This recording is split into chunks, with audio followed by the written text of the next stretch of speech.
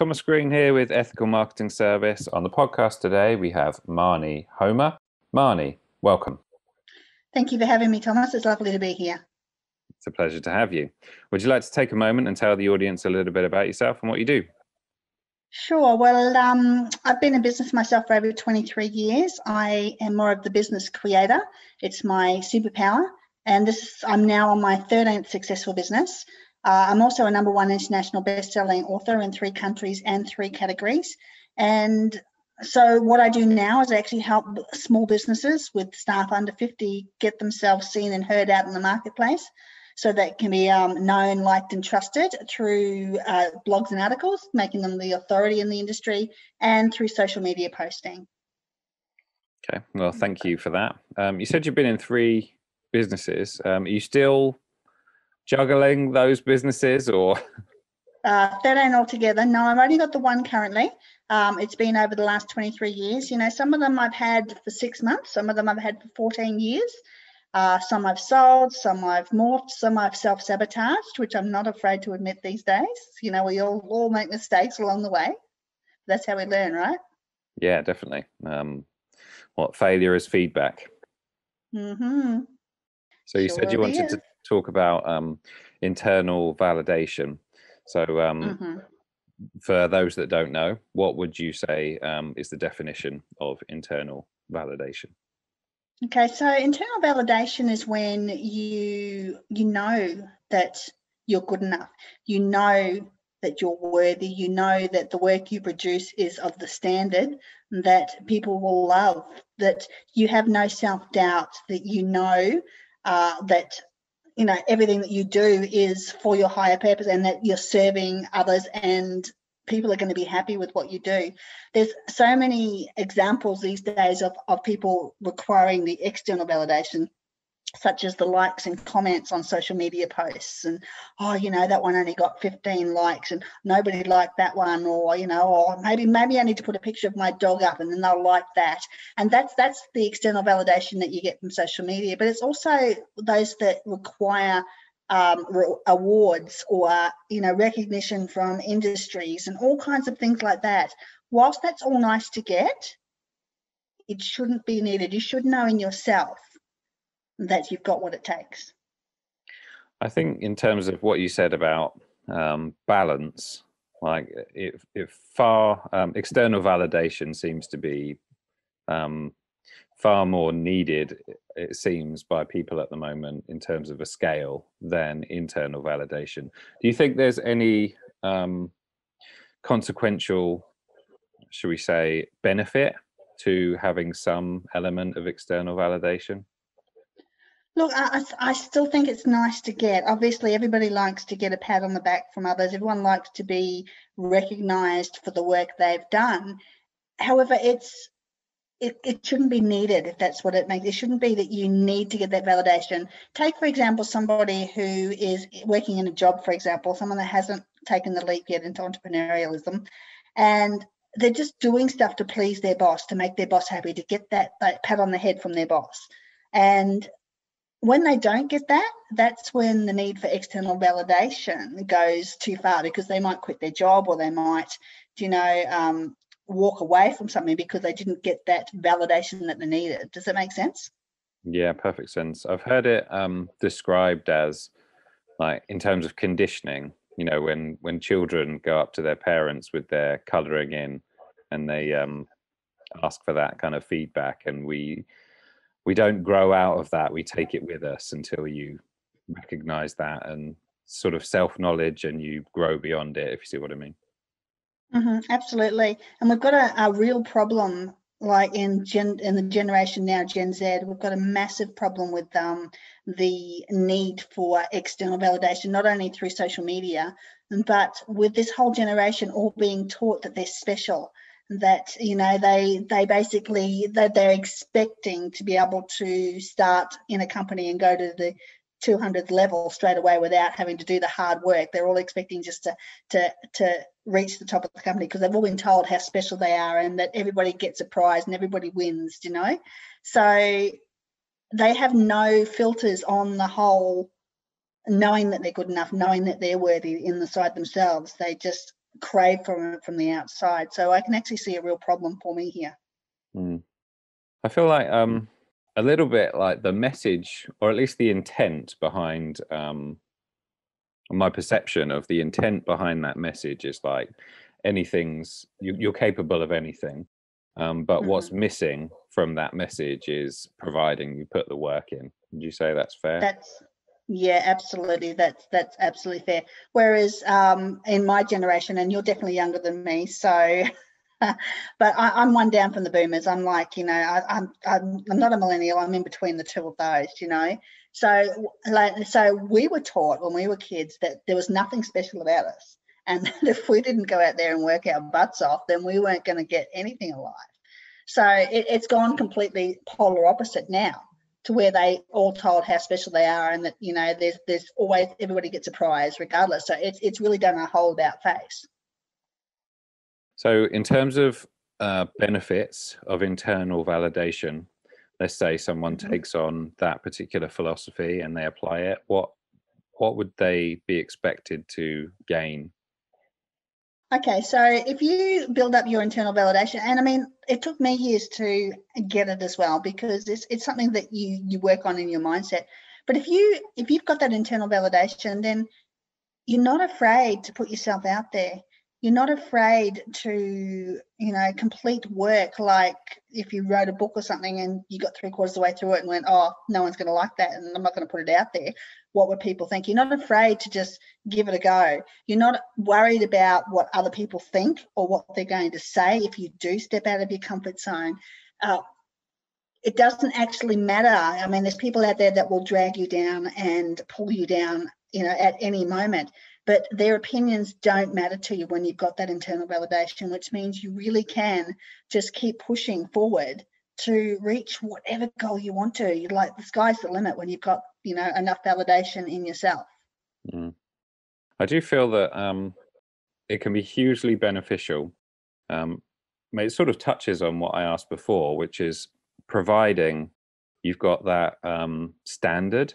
So mm-hmm. I kind of feel like providing you've got that um, excellence or your your work is, is of a very high standard then internal mm-hmm. validation is extremely important because mm-hmm. no matter what someone says to you you know you've done a great job and the work is mm-hmm. of high quality mm-hmm. whereas um, if you have internal validation and the work is not of high standard it's almost like it's almost um, not a beneficial thing at that point have you got any thoughts there yeah, absolutely. I mean, you know, obviously we all, all got to strive for our best. And as you said earlier, you know, you've got to be able to put that work in um, and be able to produce what is classed as good enough. I mean, like I have high internal validation and I know that the work that I produce is good.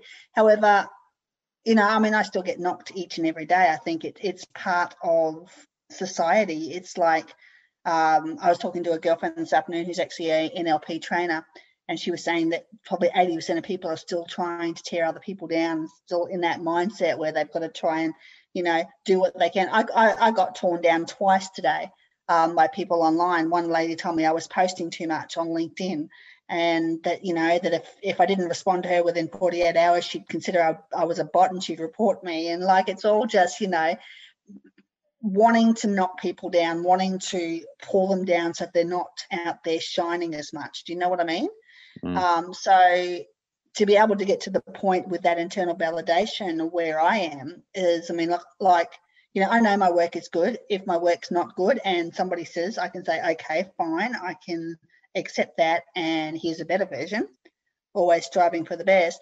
But also those people where I know that they're simply just wanting to tear me down like today is it doesn't affect me. Do you know, I just think I actually I actually am able to reframe it now where I can say, okay, well, that's just another person that's helping me be more resilient and stronger. Yeah, I. It sounds like very much an evidence-based approach. So, um, if the evidence is there that your work is great, then you don't really need to worry about it. Whereas if hmm. there if there is criticism which is justified, you are able to see that, and that's again more of a balanced approach. Mm-hmm. Absolutely, definitely. I mean, like you know, I said I was pulled down twice today. I had had another guy who was checking out all of my posts on Facebook and on um, LinkedIn, And his comments back to me was like, "Oh well, if you claim that you're the queen of content, then how come you're not getting so much, you know, interaction on your posts?" And it's like, it's it's like, really, Nate? Like, have you got nothing better to do with your day than, you know, look at my posts and and, and try to pick fault with what I'm doing? Like, you know, so I'm at the point where that kind of stuff doesn't worry me. Do you know mm. what I mean? Because it's not always about how many likes and comments you get on the post. It's what's happening in the inbox that he doesn't see. Do you know? Well, it comes back again to um, even if it were the case that you weren't weren't getting engagement, and you know that your posts are of high standard, then the actual engagement is irrelevant at that point because mm-hmm. either it's the case that um, you will get that engagement providing your mm-hmm. quality mm-hmm. is great, or mm. um, it's irrelevant because you're proud of what you've done. It's of a high standard, and you're not mm-hmm. looking for external validation, as you say.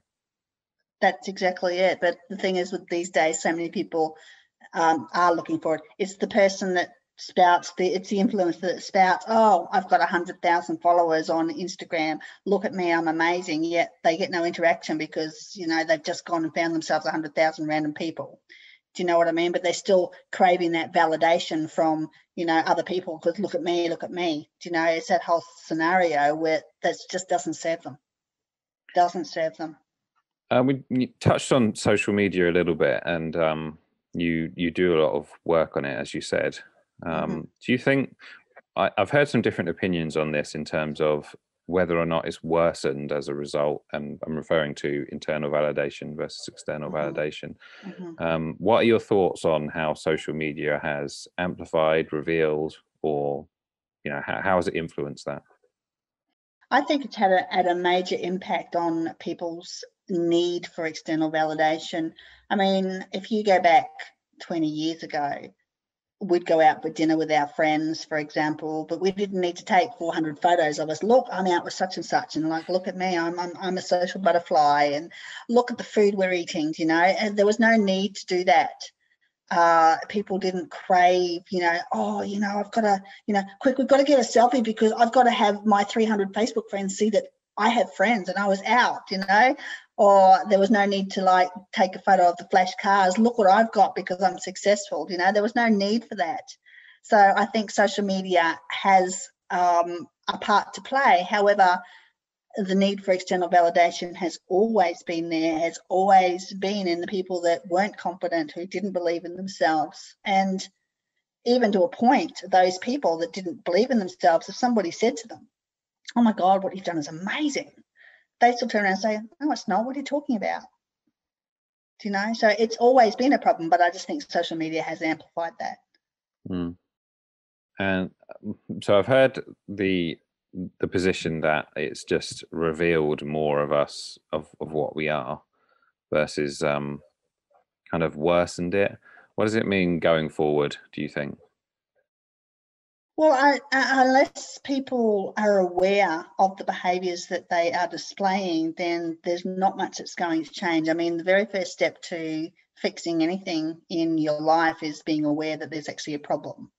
I mean that goes for anything right? So um, unless people are fully aware and willing to accept the fact that perhaps they don't have the confidence, they don't have the certainty, and they don't have the self belief that they need, and actually take the steps and do the work, the internal work to fix those things, then they're going to continue getting the same results that they're getting now, which may not be the successes that they want in life. So really it comes down to education and sort of like letting people uh, making sure people understand that you know whilst they're still out there looking for the pat on the head from thomas green or anybody else then they're never going to have that fulfilled life. Well i hope they're not waiting for that because i don't give many of those. Yeah but i mean anybody you know what i mean so. Yeah. Um, in terms of your social activity, like mm-hmm. um, your strategy, I would think because you have this philosophy, I'd like to know what how you use it um, and what your approach is to responding to those types of things, and also I don't know, just what your activity is around social media from a from a use perspective. Okay, so I mean, I I am everywhere on social media. I really, really put myself out there. And the reason why I do that is because I've got some big kick, kick butt goals this year to achieve. And so I know that the only way to achieve those goals is to be seen and heard. Um, so I've got people saying all the time that every time they open their LinkedIn, there's Maini, there's Maini staring at them. I had um, one of my contacts of the day saying he expected to see me in his local coffee shop that morning when he went for his coffee. And I said, Didn't you see the billboard outside? You know, it's like, so. Um, so my activity on social media, I am very huge. I am everywhere. I post six, seven times a day for that purpose so that I can be seen and heard so that the no like trust happens faster for my company. Okay. In terms of because um, i do i don't post that much um, but mm-hmm. i do post regularly. Um, but in terms of my actual uh, the time spent on social media i don't spend any time on it really. So are you do you enjoy it um, being on social? And do you spend a lot of time on it I actually have staff that take care of a lot of it for me.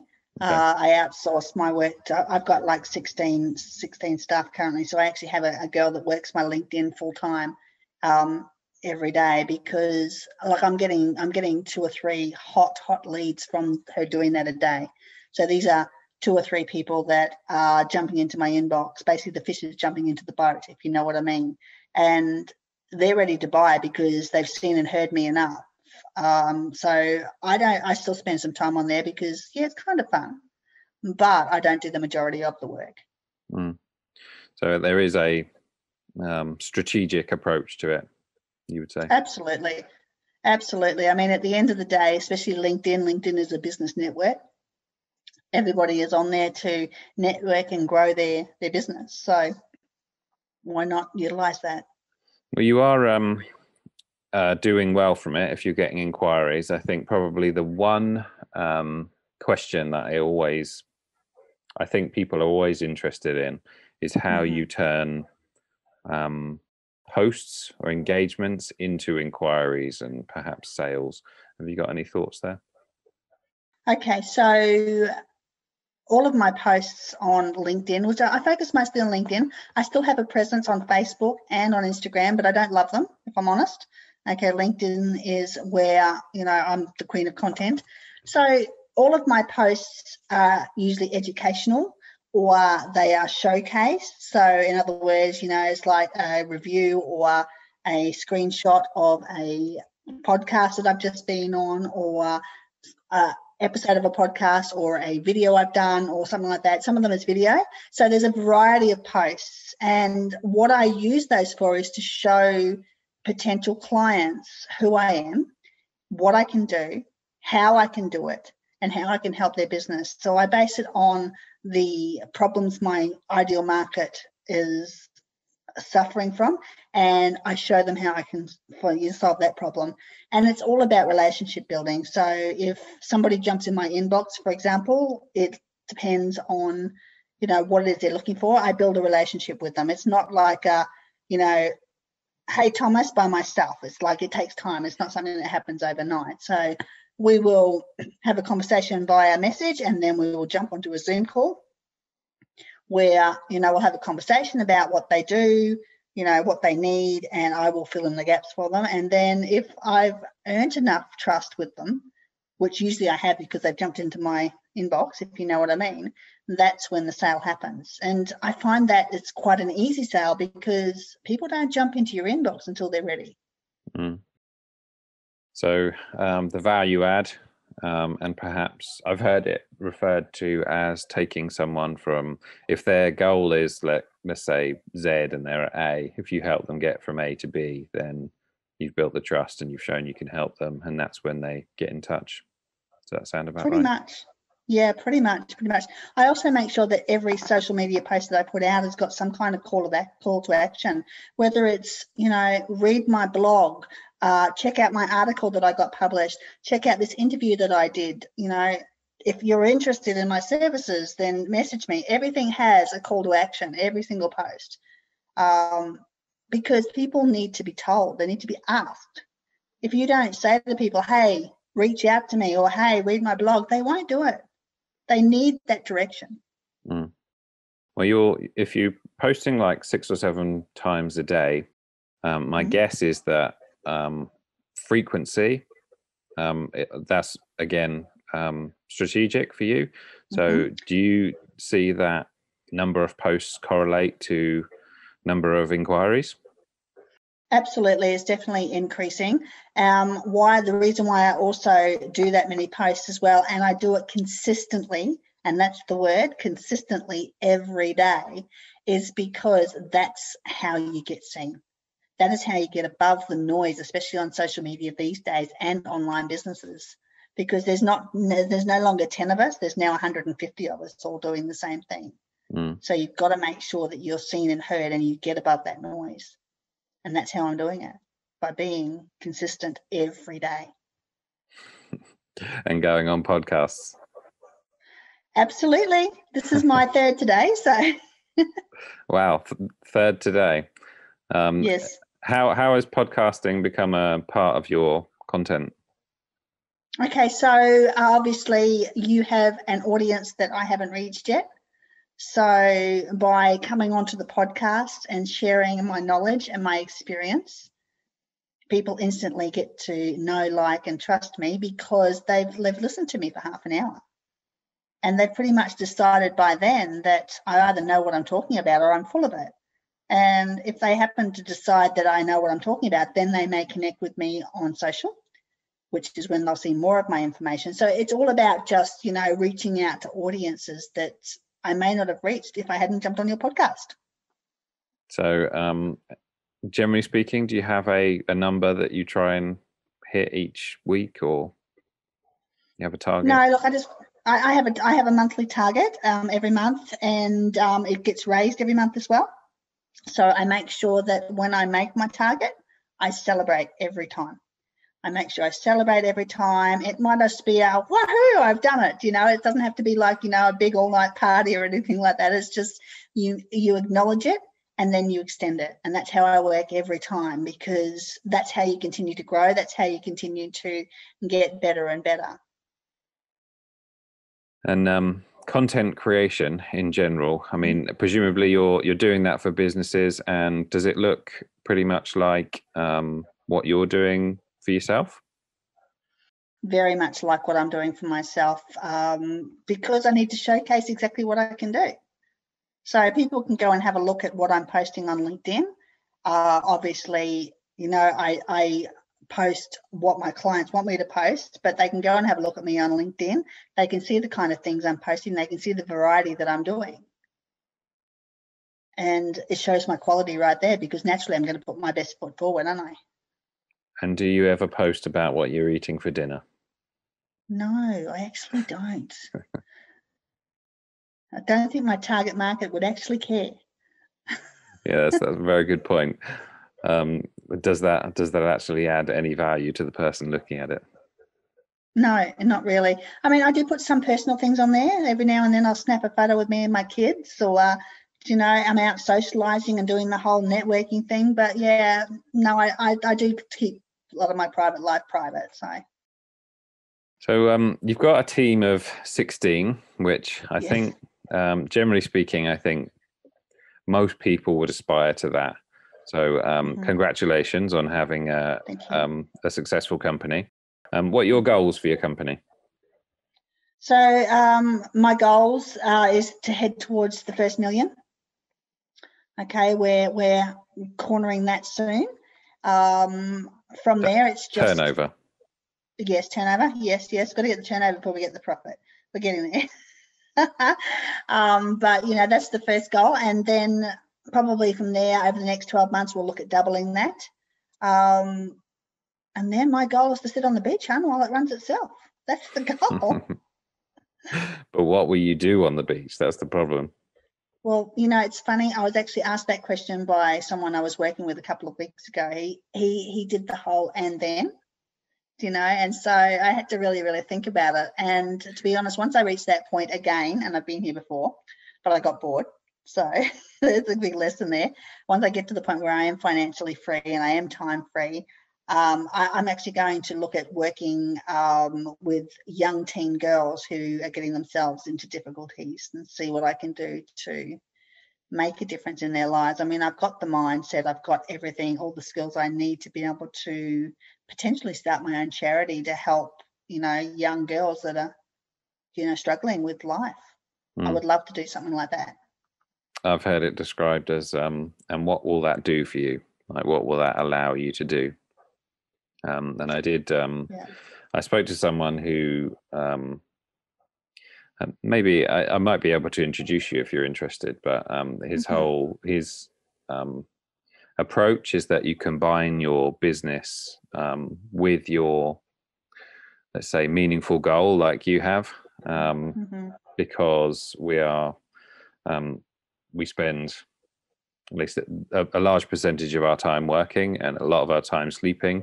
And so, mm-hmm. if you wait until you hit your goal before you actually do something meaningful, then mm-hmm. you're going to be like missing out on a lot of it essentially. But mm. sounds like a very worthy goal, is all I'd say. Yeah, absolutely. It's it's it's what I didn't get when I was younger, and so if I can make a difference in one girl's life, then I've won, and I've yeah, broken definitely. the mold.